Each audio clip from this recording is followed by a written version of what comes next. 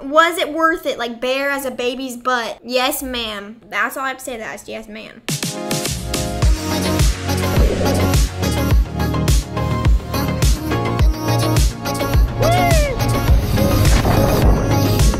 What's up, dudes? It's just Abby right here. Matt is not in this video. We don't need him today. It's my YouTube video. Can you please quiet on the set? All right, good luck.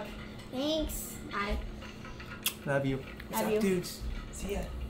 Now that we got that guy gone, let's start this video. We'll be happy to have him back next time. But today we are going to be talking about just things that generally relate to girls. We're talking about my laser hair removal experience. Yes, you heard that right. We're gonna be getting pretty personal today. You know, I really don't care. Like, I tell all my girlfriends, so it's only right that I'm out here telling all my girlfriends on the internet. I just want to be older Abby talking to younger Abby about my experience and anything that I can share about it because I was just so lost. You all don't need to be lost anymore. Let's just talk about it. Let's just air it out. I asked you guys on my Instagram what you wanted to know about my laser hair removal experience because I figured this video is for you guys, so you guys should be kind of directing it. Let's just start with this one because I feel like I need to just explain what I actually had laser hair removed. What do you rec- recommend doing down there?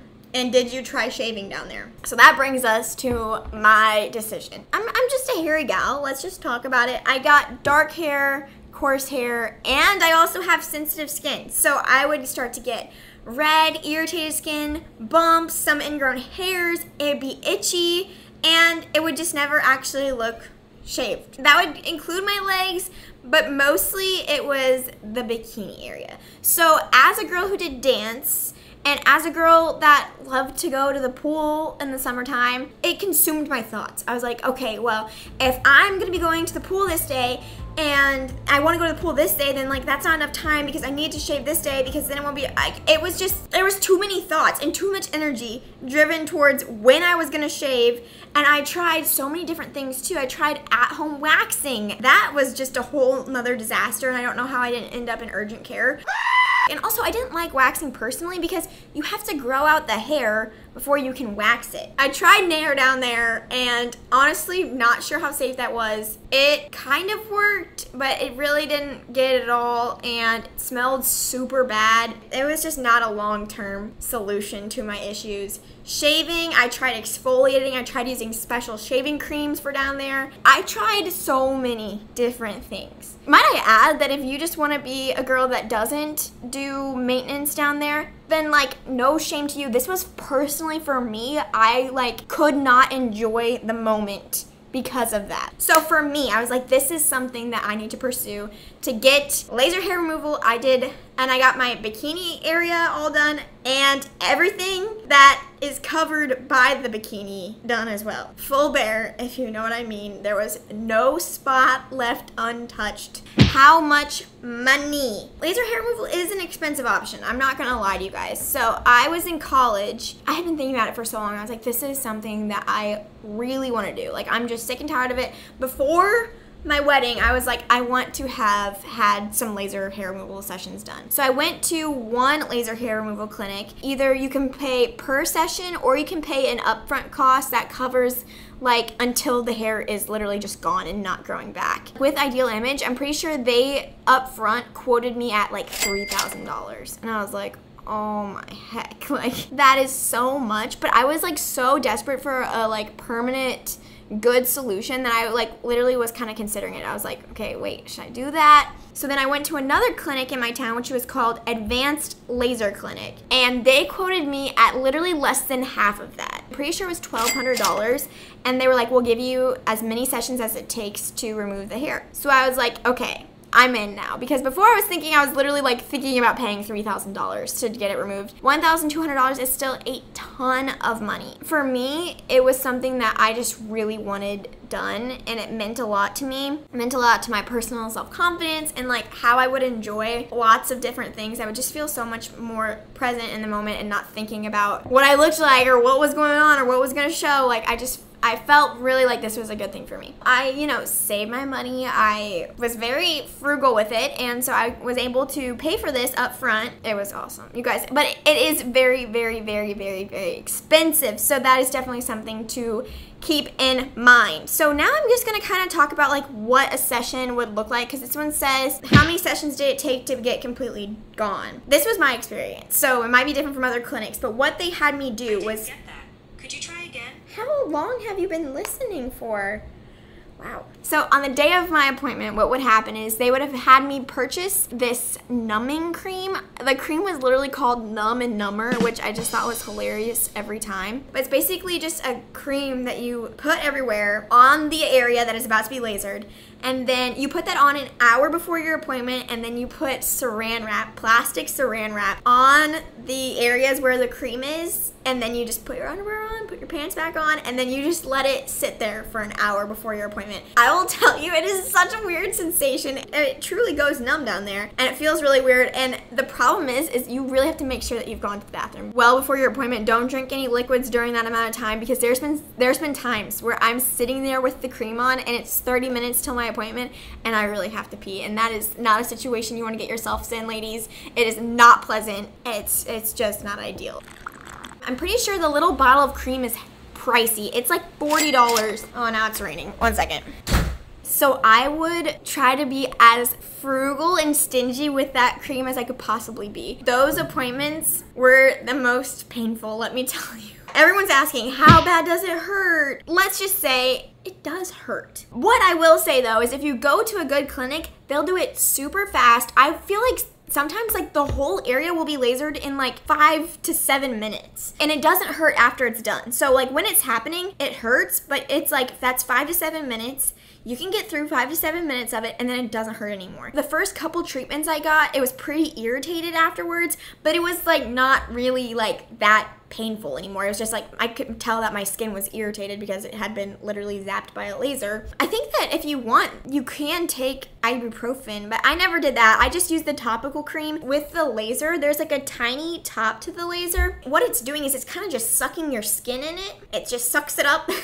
it's like a pinch. So when you're doing a big surface area, if you pinch a big surface area of your skin, it doesn't hurt that bad. But then when they go into the other nooks and crannies with a tiny, tiny laser, so if you get pinched with the little tiny bit of skin, that's gonna hurt more, and that's where it does hurt. It goes quick though, and it's it's tolerable. Like trust me, it's tolerable. If it's something that you want to do, don't let pain be the factor that keeps you from doing it because it's not that bad. How many sessions? I literally started to lose count. I know that I did at least 10 sessions. So the laser that they use is attracted to the melanin in the hair follicle. So if you have like blonder, like lighter hairs, it's not gonna get those hairs because there's not any melanin in it. Like hairs like on my arm, like that would never be able to get lasered because those are like so light and it would never be attracted. But if it's dark hairs, typically like the hairs that you want to remove potentially, and especially in places like the bikini area, those are dark hairs. And so they work great for lasering because the laser's like, oh, dark hairs, and it gets it.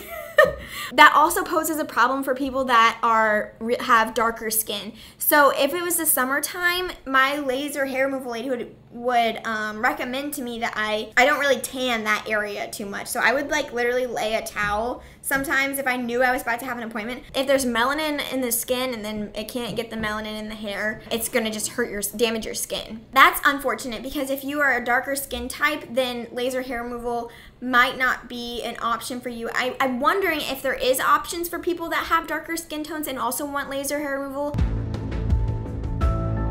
So you go in, you get an appointment, you get all lasered. Those hairs that are lasered will never grow back. It, it breaks the follicle. Am I explaining this good at all? So if this is your hair and then you shave it before your appointment, there's still a hair follicle down here in hair. It gets lasered, it breaks, and then the rest of that little hair will grow out, grow out, and then it just falls out. So right after your appointment, I would say for the next like week or two, little hairs will be falling out, and you'll just find them. Like you can use an exfoliator or like a loofah or something, and you just exfoliate the area, and those hairs will just fall out. At each appointment, you will have less and less hair as it goes. You just have to wait for all of your body hair to surface at some point. So it'll take a while. I I was going to sessions, I would say for two years, because you wait about two months in between each session, and I started to wait even longer between my last sessions because I just didn't have need to go anymore. After 10 sessions or so, that's Lucy, Goosey.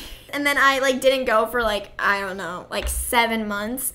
And then I decided to go again a couple months ago just for a touch up. And I think she charged me like 40 or 50 dollars to just do a quick touch up appointment. I barely ever shave in that area because I just don't have need, which is really awesome. Something else about shaving is that when you would shave, you could still tell that there were hairs underneath the skin and it would be like darker. Laser hair removal, since those follicles are just completely gone, it literally looks like the skin like on your arm. Like right here, it looks like that skin. You can tell that there's like no darkness underneath. Was it awkward? I was pretty nervous. I'm not gonna lie to you. I'm pretty sure I got laser hair removal done before I'd ever even been to like a lady doctor. I was like, oh my gosh, this is nerve wracking, especially since it was such an insecurity of mine. I was like, oh gosh. But ladies, trust me when I say that this is like the, this is their full-time job. Like this is what they do all day every day. There's nothing that's going to be shocking or weird or gross to them. Like this is what they do. Trust me when I say like it's nothing to feel awkward about and I felt totally fine. Like they'll get you settled then they'll leave and then you, you know, take off your pants. I leave the cream and the saran wrap on. They'll tell you how they want to do it at wherever you end up going. Put the little sheet on me. I was like, "Okay, here we go." I was like hyping myself up in my brain and I would just think like when I was going to appointment, I was like, I'm gonna be out of here in like 20 minutes. I can't get through it 20 minutes of discomfort and awkwardness. I don't know. You can get through it, and it really wasn't that awkward. It's their job. They're happy to help you. I literally just talked to her the whole time she's doing it.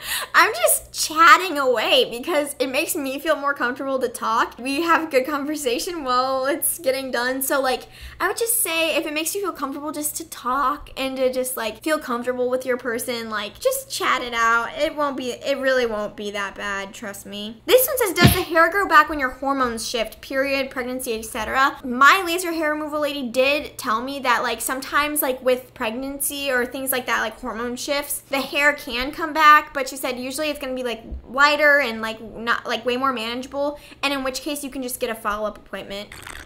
This one says, how long does it last? Is it worth it? I think that's why laser hair removal is so worth it. Because like with waxes and shaving, you're constantly buying products for that. Waxing, you're constantly buying appointments. The thing about laser hair removal is that you get it done and it is a permanent solution. I like personally am such a big advocate for laser hair removal because it is permanent and then you don't have to think about it anymore. You don't have to worry about when you're gonna shave, when you need to make an appointment for waxing. Like you don't have to think about it anymore. This one says armpits, yay or nay. I really want to get my armpits done because I had such a good experience with down there. Now I'm like empowered. I'm like, what more can I laser now? Like I want to get my armpits done. Maybe for Christmas, Matt will let me laser my pits.